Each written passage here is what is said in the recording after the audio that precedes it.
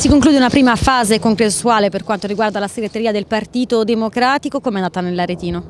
Ma devo dire una discussione dai toni pacati, una discussione nei circoli tra gli iscritti che si è sviluppata in 15 giorni che ha portato un risultato di partecipazione al 54%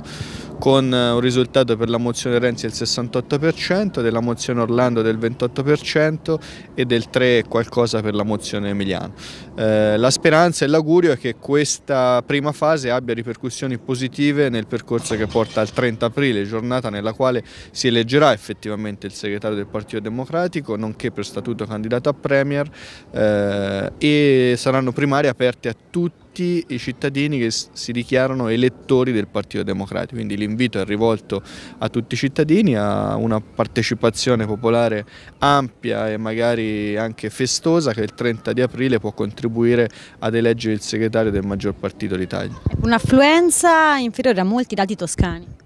Sì, come affluenza purtroppo è l'affluenza minore della provincia toscana dove c'è una media del 58%, noi siamo leggermente sotto la media, eh,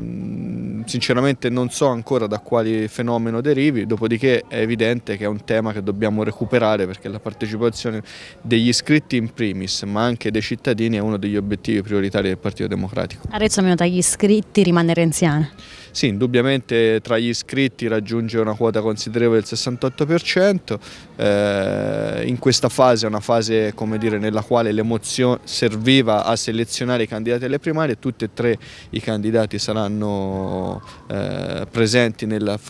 nella scheda delle primarie del 30 di aprile, quindi in bocca al lupo a tutti e tre e buon congresso a tutti i cittadini che vorranno partecipare agli iscritti al Partito Democratico.